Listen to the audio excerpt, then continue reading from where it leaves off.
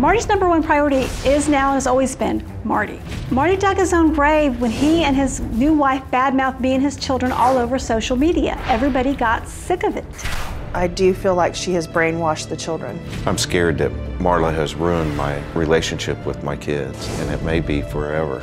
Marty needs to realize all six of my children don't want to spend time with their father. He needs to man up and take responsibility for his own actions and stop letting other people control him. Marla and Marty are at odds over their 10 year old son David. Now, in the four years since they divorced and agreed on shared parenting, there have been 100 police reports, allegations of kidnapping, overdosing, brainwashing, and alienating. Now, David isn't the only child. His older brother Danny remembers only too well what it was like being in this power play and says his absolute priority is to protect his younger brother from a father he claims is both verbally and physically abusive. I don't have a relationship with my dad or Jennifer. I cut them out of my life two and a half years ago. They're both very manipulative people. My dad and Jennifer are compulsive liars. They're constantly bad-mouthing my mom. My dad puts his new wife, Jennifer, who he's only known for three years, before all of his children. My dad has alienated himself from our entire family. I feel like my dad has done so much wrong that he doesn't deserve to be a part of my life. Jennifer treats my mom with no respect. She's called my mom a slut, whore, tramp. A few years ago, my dad was talking about my mom on social media. I told my dad I was gonna come over and beat the crap out of him. My dad called the police on me because he felt threatened. The next thing I knew, the police were at my front door. They just told me I had to stop threatening him, but they did say he was a coward for calling the police on his own son.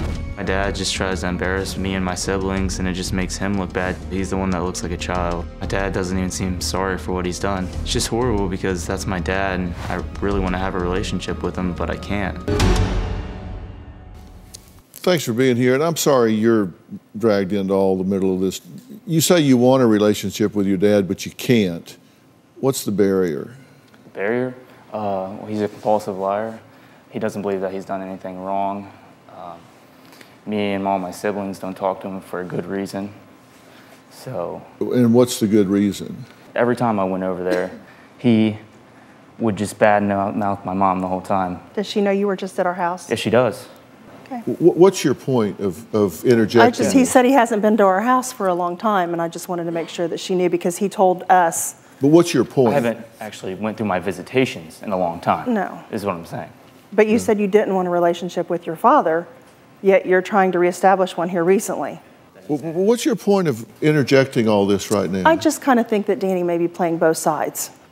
Well, it seems to me like you're stirring the pot up when I'm trying to have a conversation with him about his dad, and you're interjecting here. I understand. Um, that just is that's very instructive to me. Okay, so you do want a relationship with your father. What do you need from him in order for that to happen? Well, I need him to apologize to me and all my siblings. I need him to stop talking bad about my mother. I mean, that's my mom. She's my rock. And uh, do you want a relationship with your son? Yes. Have you looked your son in the eye and apologized? I apologize. I miss him very much. You told him you apologized. Did you tell him why? For calling your mother names, saying bad things about your mother. He laid on the floor and cried. He wouldn't go to school. He wouldn't play sports.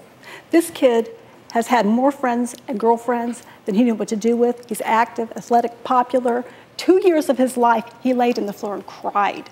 I couldn't leave the house. I couldn't leave him alone. I didn't know what had happened. He wouldn't tell me. We have tried several times, Marla, to work this out between us. We need to still be a family. You're the, you're the reason we're not.